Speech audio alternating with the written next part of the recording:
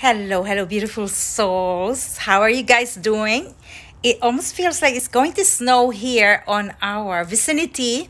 I'm in Westminster. So today I was debating on going to travel to Crescent Beach to be with the sun. And I figure, hmm, I need to be home and just buy some plants and start writing. But I want to share this um, experience. As you guys all know, uh, probably not all, but I've been channeling these galactic beings and putting a book for the equinox. It's called Galactic Blueprints on December 21, 2021. So I was asked to do this by my uh, Masters of Light so today I was woken up at three in the morning and it was wild because um, the energy was off around my space. So I got up and I decided to read some book, some books and I think I was reading the Pleiadian agenda because I'm I'm doing a lot of research and reading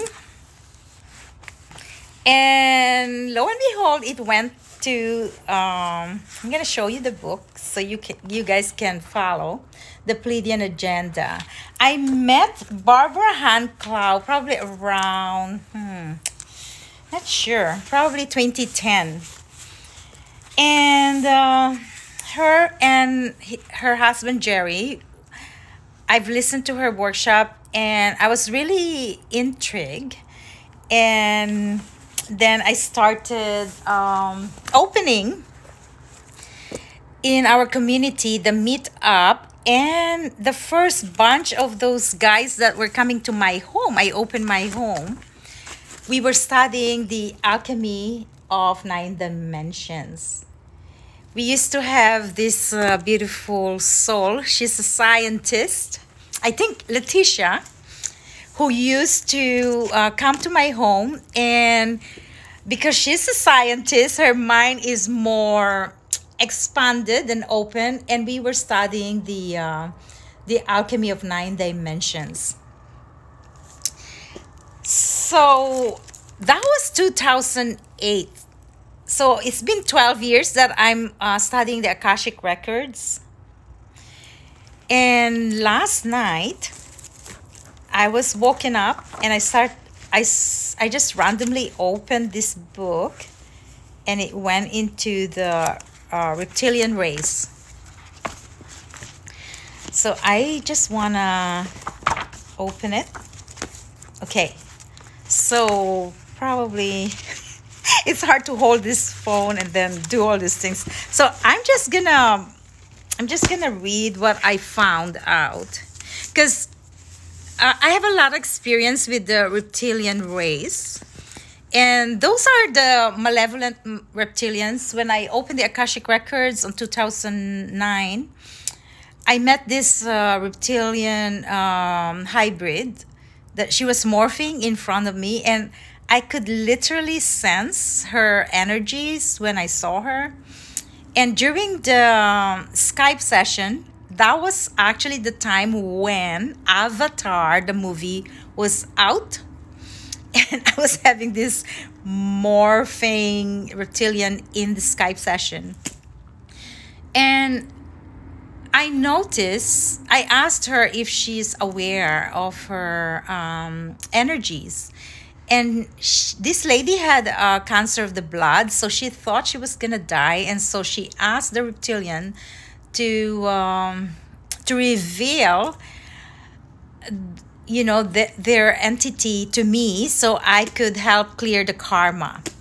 So what i noticed on uh, this skype session with this lady who was morphing she asked me to take pictures of her. So i had like 864 pictures for three hours i was doing a session and I actually told her, Can I ask my boyfriend to come and see this? Because this is so unusual. So I want to know.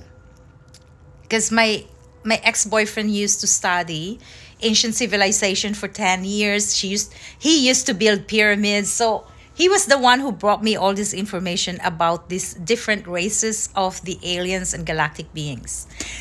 So I asked my boyfriend to watch this lady in Skype session and literally she was morphing.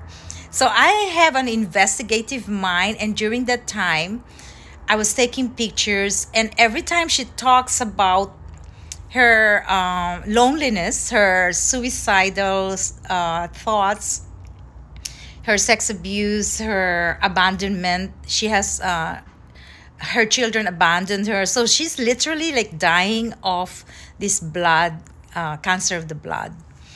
And I was I was so taken aback. I was crying because I was so new with this healing method, Akashic Records, on 2009.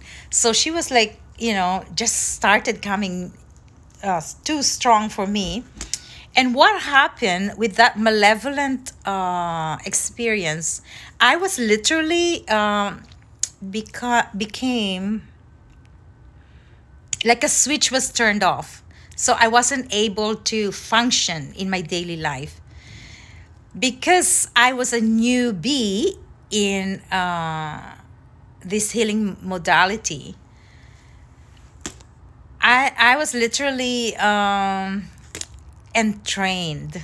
Like it is an entrainment when your sacred space is not. Um, so the Arcturians calls this is like a cosmic egg. Your astral, your ether, etheric body should be like an egg. Okay, so for all people that are listening here, I'm um, I'm asking you to to rem- to create a ritual of creating a sacred space and also relationship with these masters whoever the masters of light that are coming to you so today when i woke up i was i was given this uh, chapter to read and it was actually um,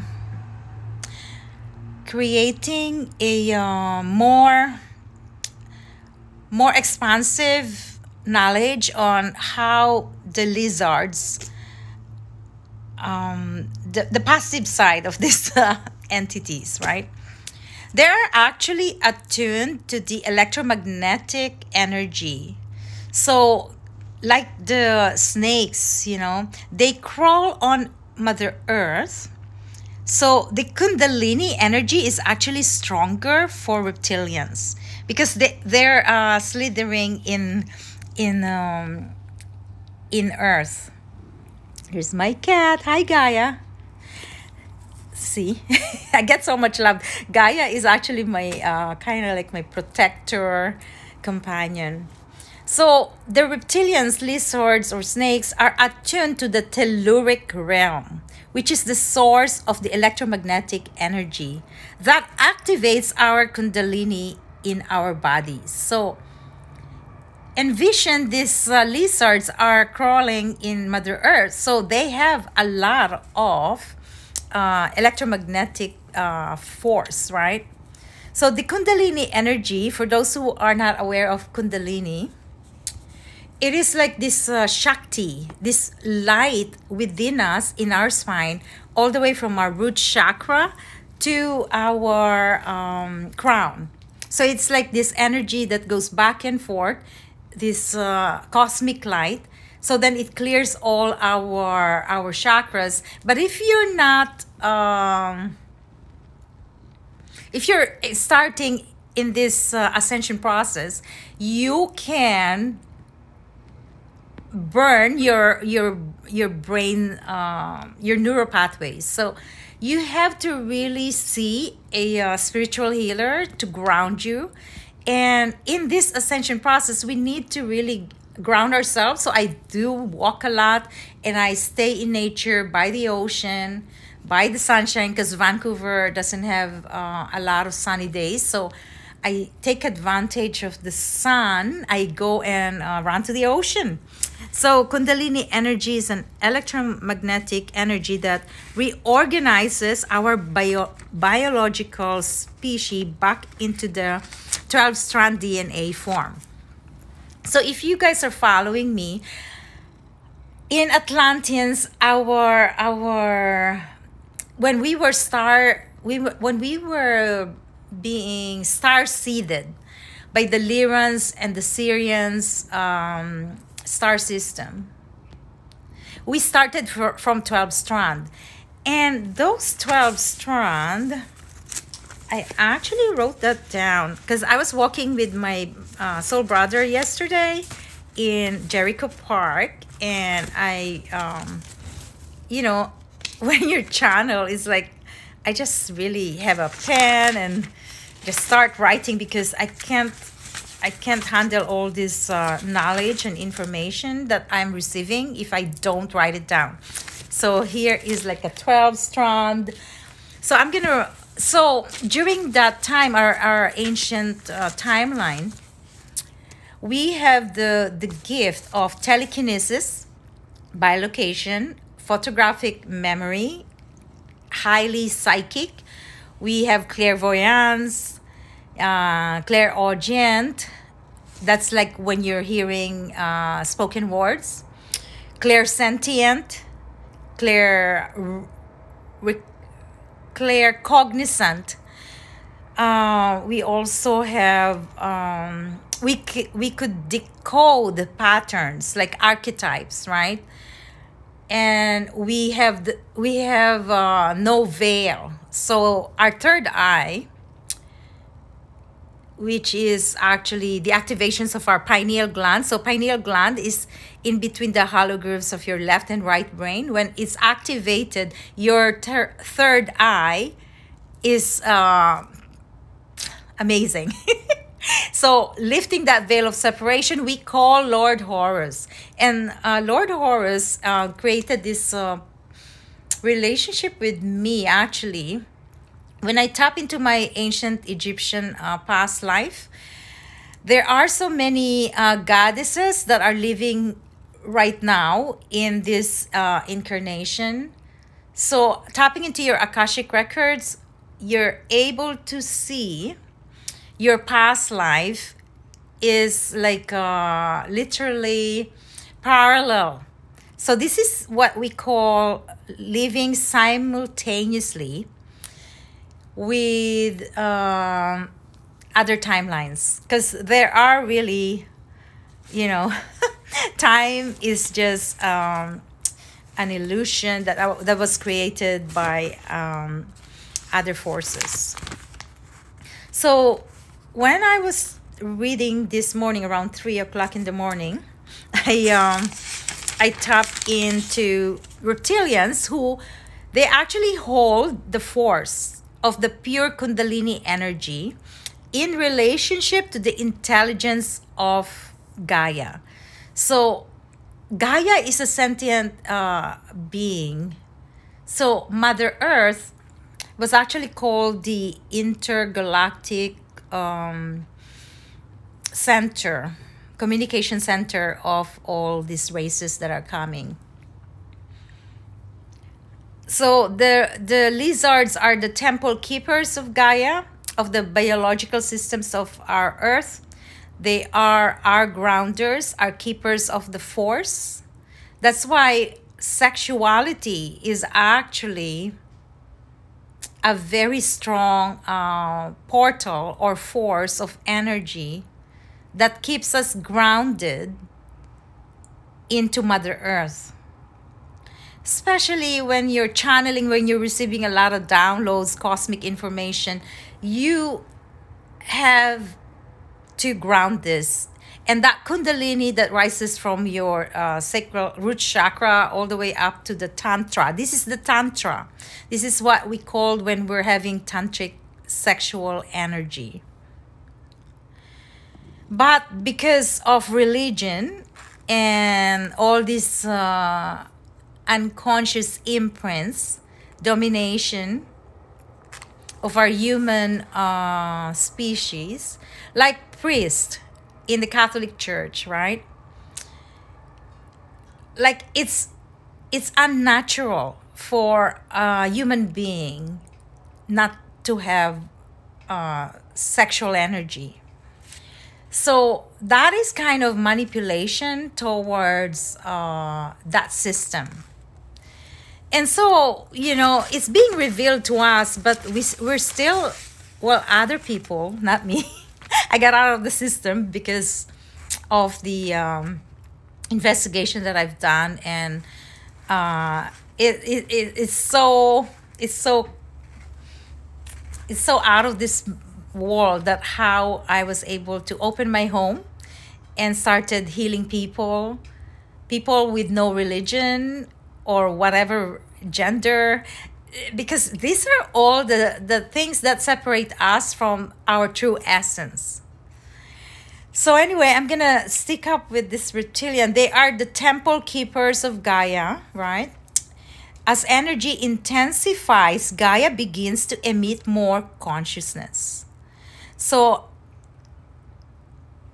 astronom astronomical point of view this is a, gaia has an intelligence that is activated and the reptilians who remain on earth are the ones who hold this incredible intelligence. They hold intelligence within their physical bodies. Okay then i went on more readings and it, it went into uh, nibiru and the Anunnaki. So I'm going to do more um kind of like a short this is uh I, I just want to really focus on like the like this uh, part of the reptilian. So I went to sleep and I had a lucid dream.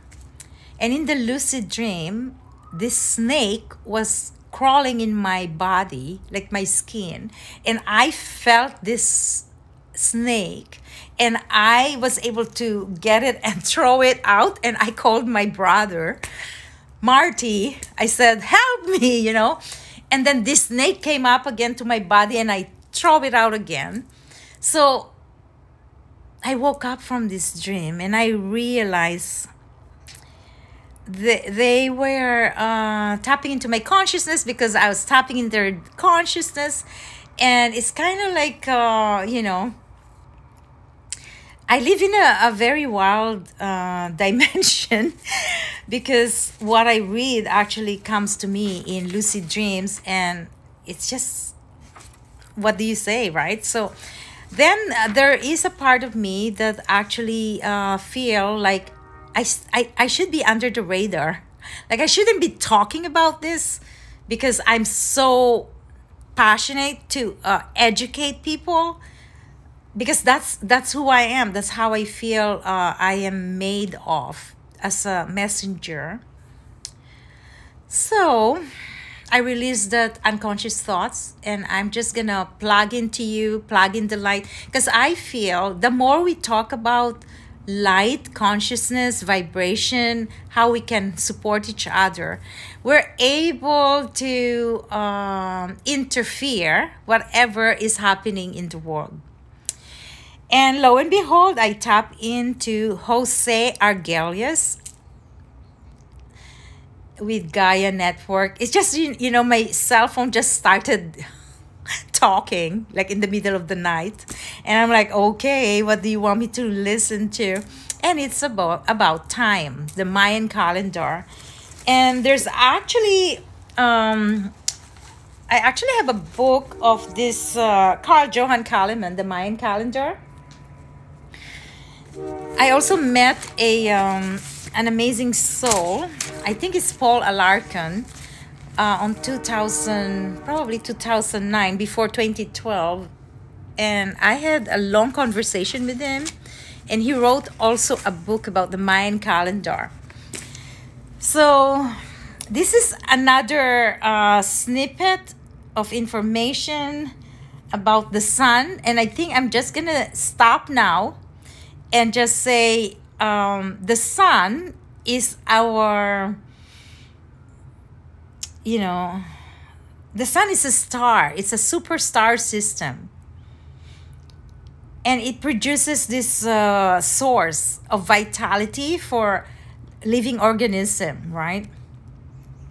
And as an organic matter like us, we or the animals, the plants, we we require water, solar radiation, oxygen and carbon dioxide uh, symbiosis because life depends on the sun.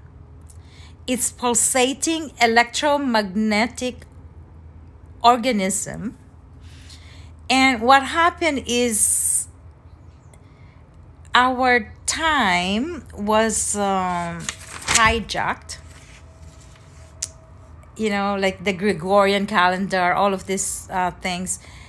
It, it, we're running under artificial time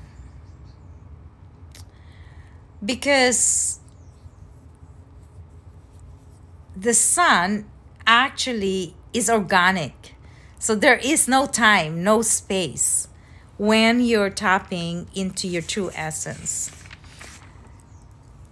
I've I've I've experienced that when I was working in the nursing home for like 20 um I'm turning on 29 years, but I retired when at, at 55 when my son died, I realized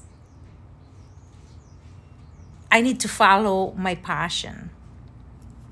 I need to share this communication, this innate intelligence to people. And I literally told my children that I'm leaving a legacy. I would write 24 books if I die at 77. and this is for my grandchildren because you know we gotta do the things that we need to do. And this is time. This is the real essence of time. We're not in this physical body forever. Of course our our soul are eternal. We're always communicating we're always um, sending uh, people's insights, dreams, right? But right now that you're in your body, we need to understand how we can help evolve our our earth.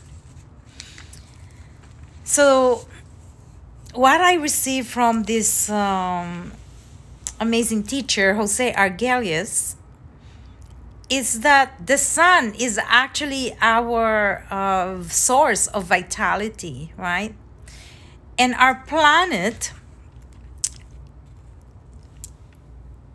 is an intelligent uh, system capable of receiving information and other um, cosmic radiations from solar flares from all these uh, planets, our solar system, the galaxies, the photon belt.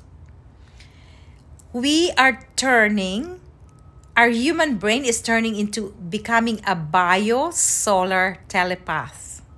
So we're we're we're shifting into these um, activations like uh, a sun worshippers. That's why most people are shifting into vegan lifestyle, vegetarian, Jews, Bret- Breatharian, fasting, because our system is shifting into a mental, spiritual light being so then it is a symbiotic relationship. And uh, mostly um, the star seeds, the new generations, our, our children that are coming into the system, are, are programmed with this they have this um, highly intelligent highly they they are highly intelligent. They recalibrate you know they came here to help us. If you if you tap into um i said i was gonna just just talk a little bit but then i end up talking more. So i started uh, studying i've studied her work dolores cannon the quantum hypnosis but right now because i'm so passionate to get all these informations that people can can understand in layman terms I, I like to simplify how how we are evolving and how technology has became you know this is an artificial time that we are running on our energy, communication, transportation, glo- globalization are all based on artificial time. Like we lost our organic uh, ways of um, living, the ways are being. Like the cellular phone, the, the technology affects our personal psyche because you, you instead of going within and tapping into your intuition your clairvoyance you just google everything. And there it is. It's like a this fast pace right? So hopefully in in, in this uh, in this chaos that we are in this is actually the disintegration of our current system which were which was predicted on 2012 but the effects are now are now here. That people will be high will be educated and that we will be uh, one in um, unison to harmonize because it all starts within. So your solar plexus is so important. It's your navel area that connects to the central sun ra. And this is your trust believing surrendering and releasing and letting go of all these uh, illusions and fear based emotions these are all imprints from our old DNA. We are now rising into this 12 strands DNA, which is actually building our rainbow light breastplate, which was, you know, um, our old priest, the high priest, wears this uh, 12 crystals breastplate, which helps you in your vibration. And look at my um, I want to share my baby here. I don't know if I could lift her. Oh my gosh, she's really heavy. This is um, my new baby.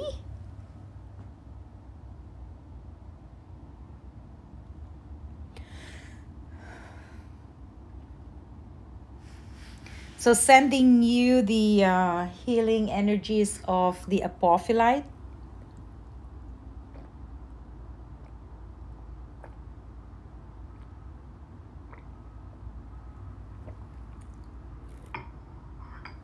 helping you activate your masculine and feminine energies integration.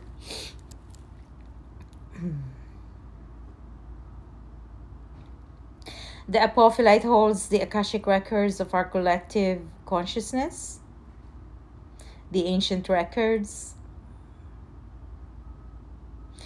and um, the pyramids, um, crystal formations helps you to align to your mind, body, and spirit, raising our consciousness, the evolution of uh, carbon base into a silicone crystalline fields of our human um, existence, activating your uh, 12 strand DNA and you can visualize this uh, rainbow.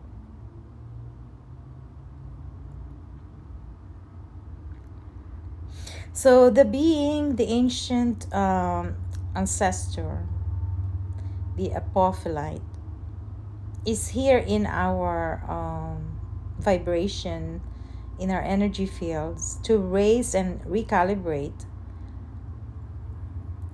any lower frequencies that we have been trapped or entrained, we now let go and release, creating this strong force field around our aura, our etheric body, our holographic fields, crystalline fields, bio ethereal fields, creating that cosmic egg around you with the Arcturians star beings assisting us, connecting us to the temple of the Arcturus.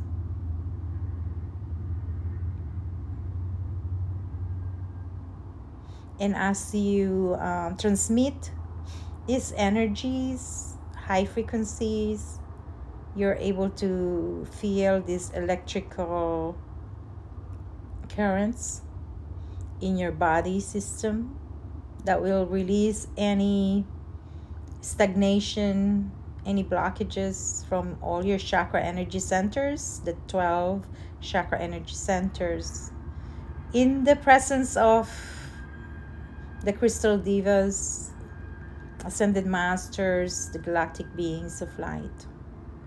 And we thank you, thank you, thank you. Thank you so much for listening. And yeah, I will uh, plug in and share my experiences. Love you guys. Namaste.